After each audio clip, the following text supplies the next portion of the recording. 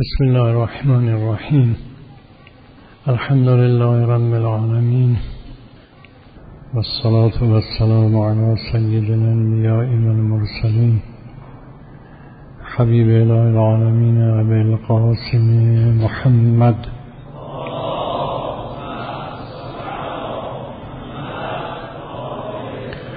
وعلى أهل بيته الطيبين الطاهرين المعصومين.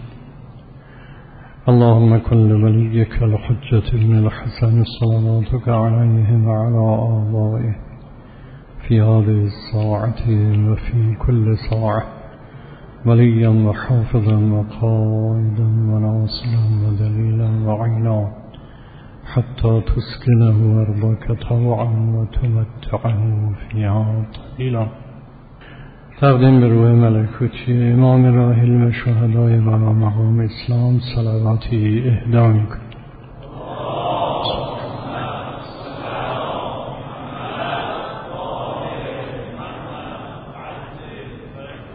در جلسات اخیر مناجات ذاکرین را میخوندیم تا به این فراز آخرش رسیدیم.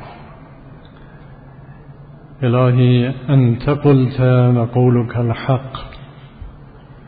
يا أيها الذين آمنوا اذكروا الله ذكرا كثيرا وسبحوه بكرة وأسيلا وقلت وقولك الحق فاذكروني أذكركم.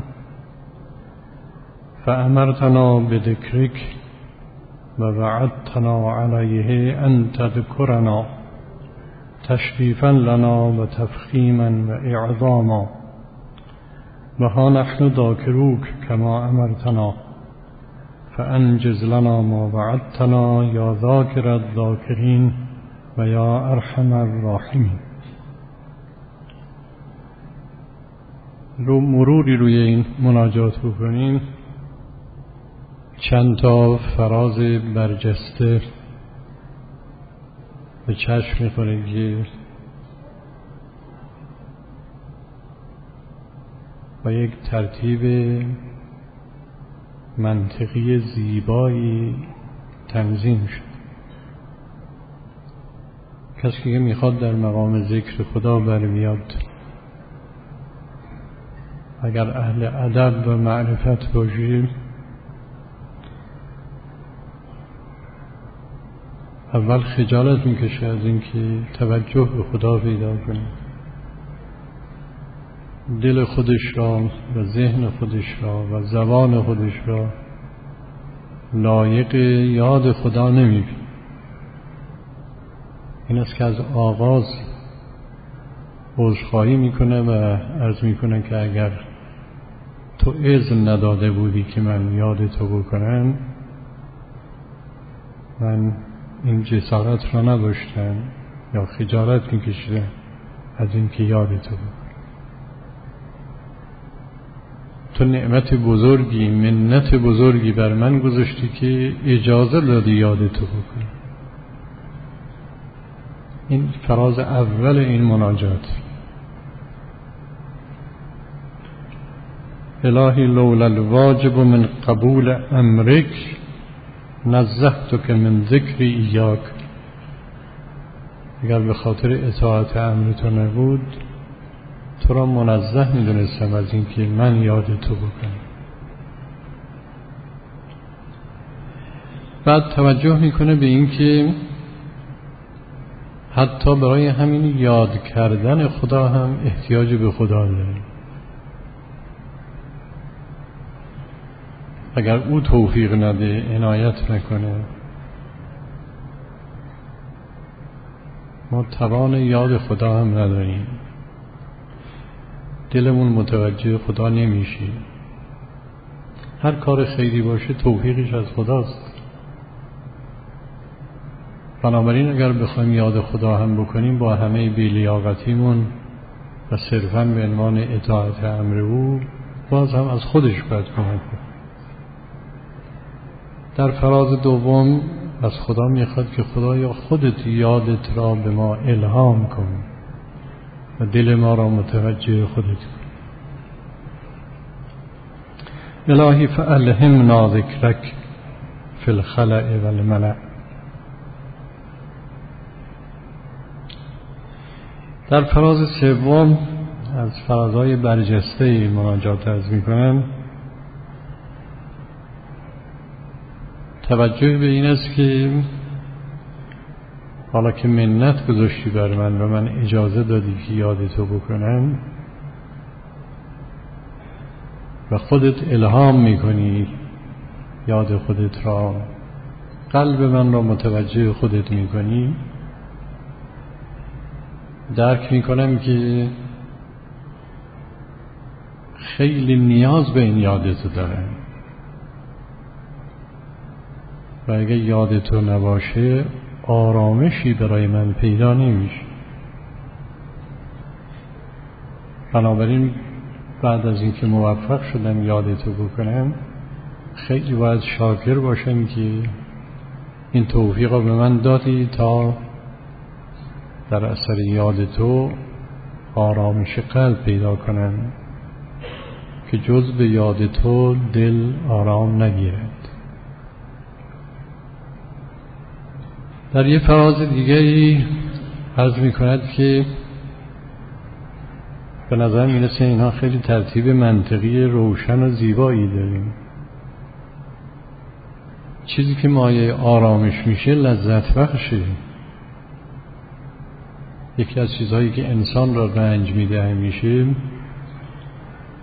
اضطراب و وحشت و نگرانی و دلواپسی و ایناست که لازمه این زندگی این عالمی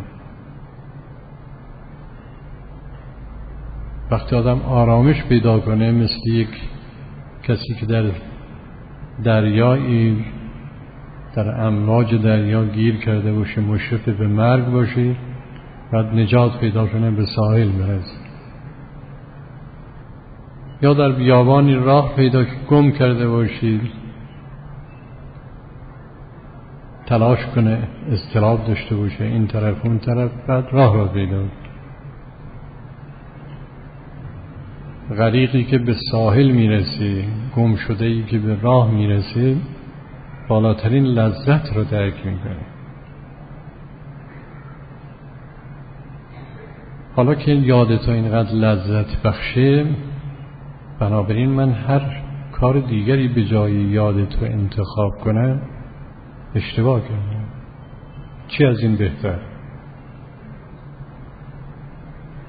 مسلحت دید من آن است که یاران همه کار بگذارند و سر طره یاری گیرند. اگه کار دیگری کردم دل به چیز دیگری بستم راه دیگری رفتم اشتباه کردم استغفار و استغفرک من کل لذت به غیر ذکرک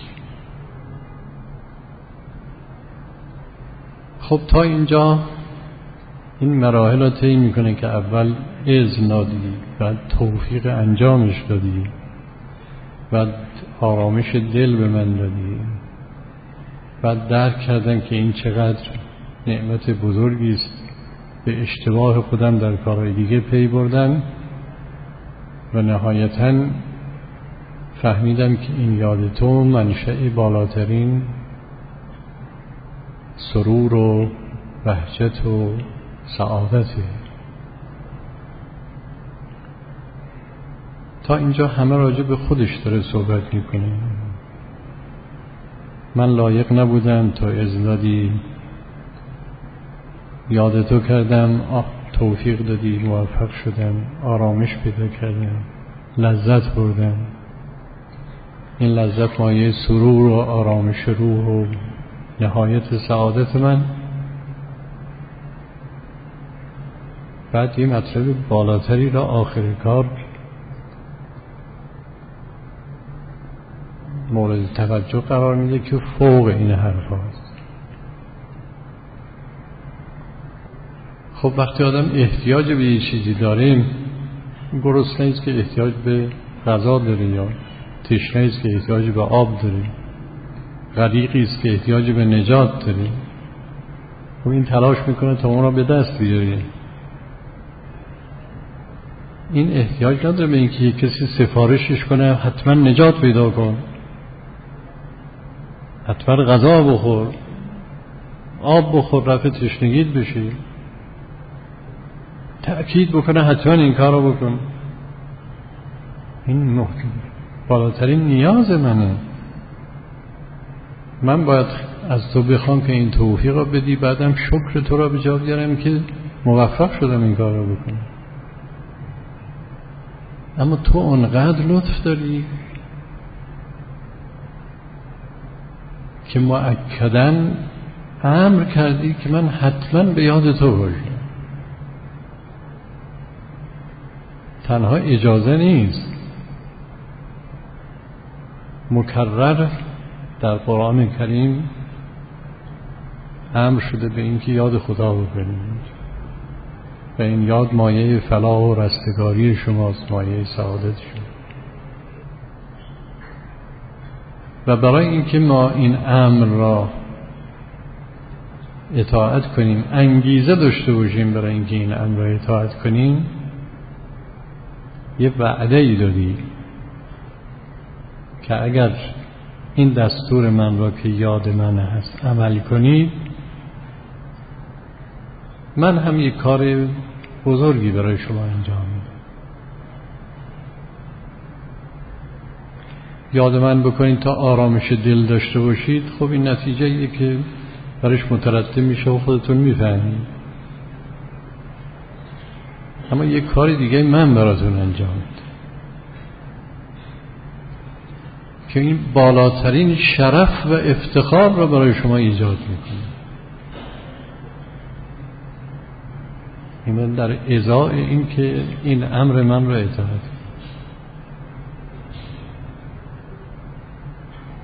و اون این است که اگه شما مرا یاد کردی من هم شما را یاد منتها عظمت این مطلب و شرف و افتخارش برای ما برای امثال بنده درکش مشکله یاد خدا بکنیم دل ما آرامش پیدا می‌کنه از استراب رها میشیم. اینا خوب درک می‌کنیم. هم معنی استراب رو می‌فهمیم هم آرامش رو می‌فهمیم.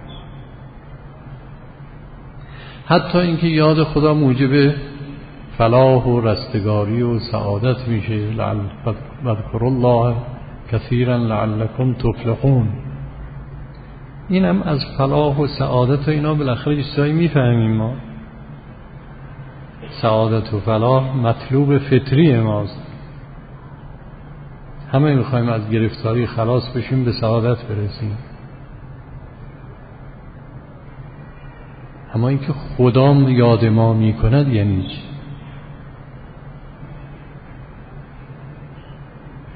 و این چه افتخاری است چه شرفی است که خدا به ما اینجور معانی مربوط به معنویات و چیزهایی که فوق حسیات و اموری است که ما در این عالم درک کنیم تنها با یک مقایسات و تشبیهات و اینها میشه اندکی بهش پی برد که این چه جور چیزی است به چقدر ارزش؟ والا به این سادگی نمی‌فهمیم فذکرونی اذکرکم. یاد من باشید تا من یاد شما باشم. خب، یاد ما باشه یعنی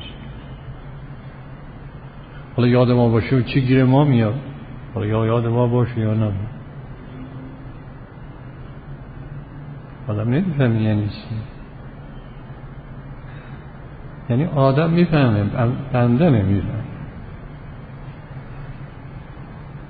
باید خیلی فکر بکنن دقت بکنن تا یه چیزه که سر در بیارن. دو موضوع رو اگر ما فکر بکنیم شاید اندکی به اهمیت این مسئله و این وعده ای که خدا داده پی بزنیم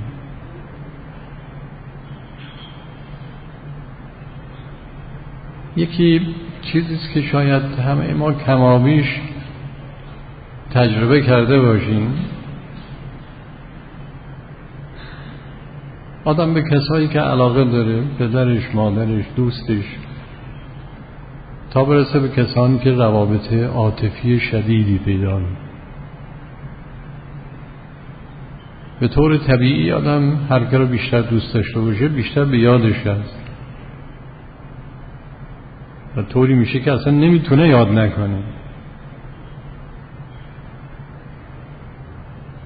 چنین کسی بیشترین آرزوش اینه که اون محبوب هم یاد او اگه بدونه که او هم یادش هست خیلی لذت میده همین که ما بدونیم دوستانمون ما رو وا نگذاشتن فراموشمون نکردن. حالا به حسب مراتب محبتی که داریم نسبت به هر کسی یه توقعی داریم که در یه حدی یادگار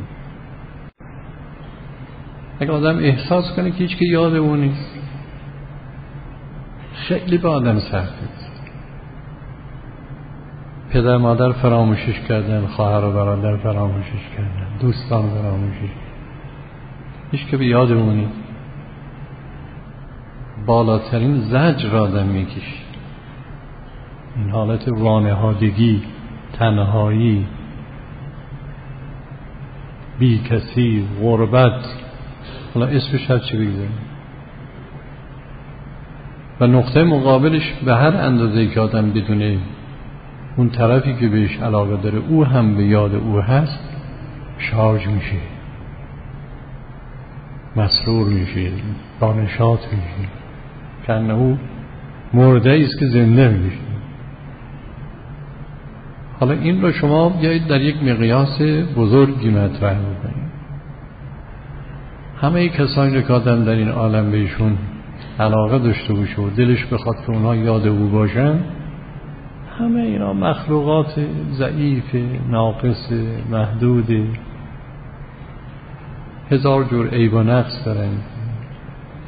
و بالاخره همه ضعیف مسکین فقیر خدا گهدا هیچ کاره. اگه کمالی دارند بسیار محدوده در مقابل کمالاتی که خدای متعال به اولیاءش داده چرا به کمالات خودش. اصلا طرف نسبت نیست. اگه محبتی دارن کاری بتونن در آدم انجام بدن این کار از خودشون نیست. توفیقی است که خدا بهشون میده. ابزاری هستن در واقع. و بالاخره همه اینا محدوده. یه روز همش تموم آخر آخرش دیگه اگر زودتر تمام نشه با مرگ تمام میشه. اما کسی که کمالات او حد و حصر نداره. مهر و محبت او هیچ اندازه نداره بی نهایت. هر چه آدم کوتاهی بکنه بیمعرفتی بکنه اسیان بکنه گناه بکنه خدا رو فراموش کنه. او فراموشش نمی. او دائما میگه برگرد جایی بهتر از پیشگاه من پیدا نمی کنی بیا.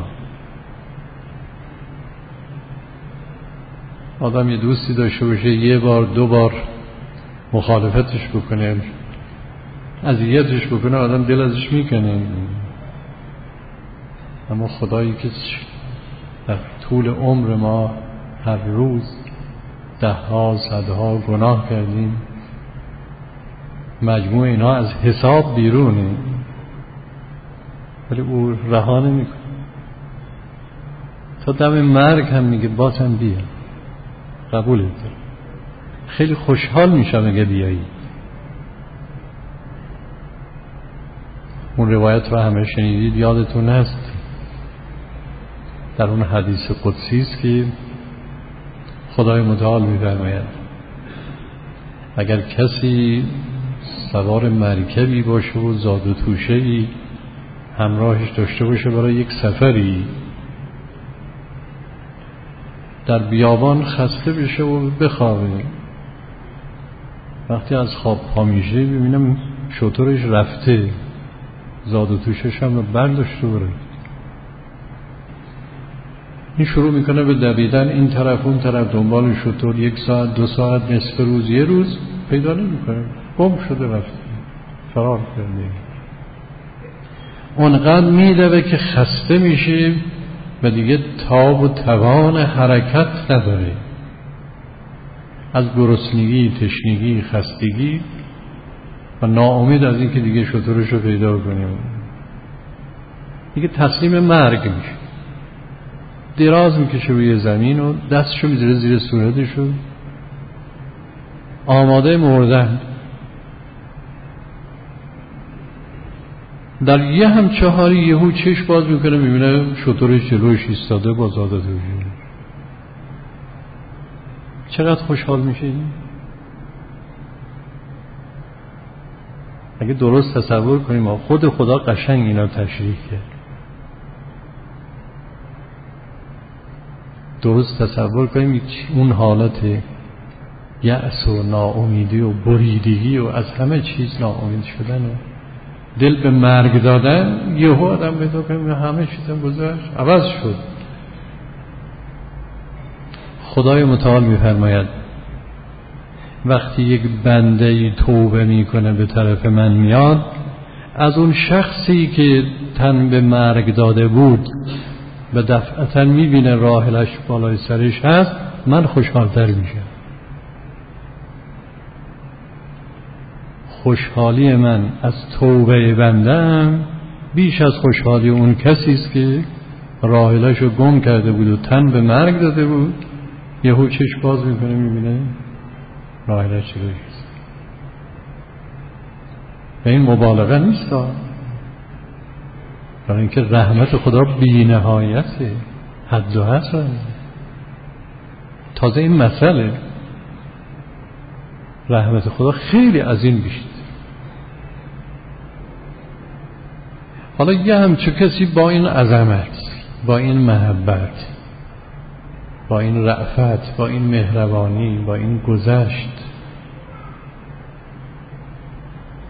که هیچ نیازی به هیچ کس نداره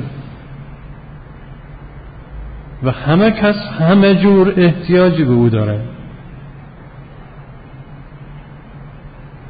چیست در عالم که در یک جهتی نیاز به خدا نداشته در یک نفس کشیدن در یک چشم به هم زدن در یک گوش برا دادن در یک لحظه از عمرش در یکی از شعون زندگیش. بگه من به اینا در اینا احتیاج به خدا ندارم. پیدا میشه. انبیا اوسیا ائمه اطهار ملائکه مقربین جبرائیل اسرافیل میکائیل. پیدا میشه که بگن ما احتیاج به خدا در یک کاری نداریم. سرتاب های همه مخلوقات نیاز. هر کس سعه وجودش بیشتره نیازش هم بیشتره. خیال نکنید پیغمبر و امام نیازشون به خدا کمتر از ماست اتفاقا خیلی بیشتره. چون ظرفشون بزرگتره.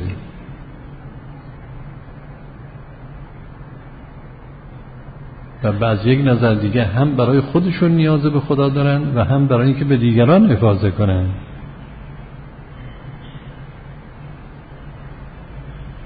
اونا خیلی نیازشون به خدا بیشتر از ماست. همه موجودات سرتاپا نیازن. تنها اوست که بی نیازه به هیچ کس به هیچ چیز احتیاج نداره حتی اینکه عالمم رو که آفرید نه نه تنها نیازی به مخلوقات نداشت که کمکش کنن. نیاز به این نداشت که به اونام انس بگیره. بعضی آخر خیال می‌کنن خدا وقتی کسی رو خلق نکرده بود عالمی خلق نکرده بود از تنهایی وحشت داشت. آدم تنها که باشه حوصله سر میره مخلوقات که خلق کرد یه سرگرمی پیدا کردی. از تنهایی در اومد. و اینا خیالات ماست. تو اون دعا داره که ولال وحشت دخلت علیک ادلا غیرک. تو که عالم را آفریدی نه به خاطر این بود که وحشت داشتی چون تنها بودی برای اینکه از تنهایی در بیای عالم آفریدی به هیچی احتیاج نداشت. کسی که همه کمالات داره همه به او احتیاج دارن او به هیچی احتیاج نداره او بیاد یاد یک بنده ضعیفی بکنه. اونم یه بنده گناهکار روسیا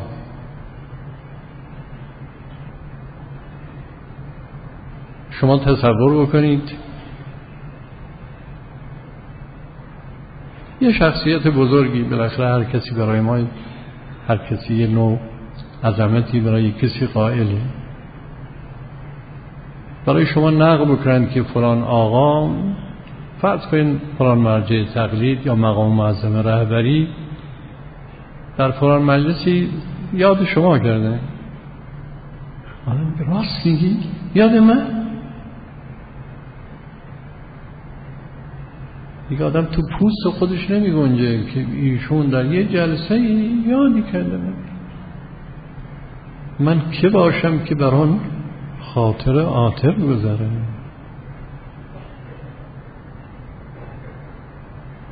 حالا یه خود بالاترش فرض کنید اگه یک کسی بداند که وجود مقدس ولی اصر ارواح نافدا یه بار یاد داده دیگه کسی در پوستش می گنجه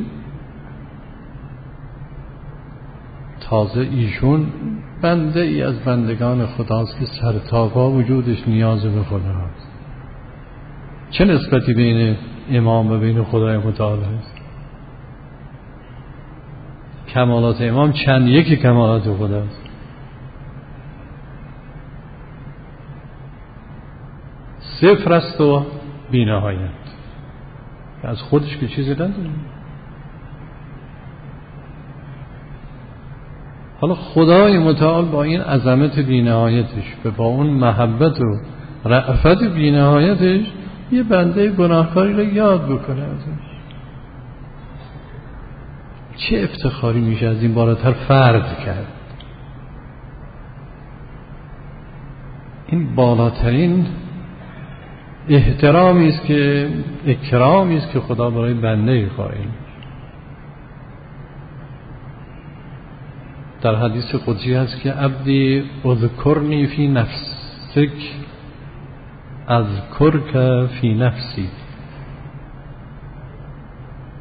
واذکرنی فی الخلا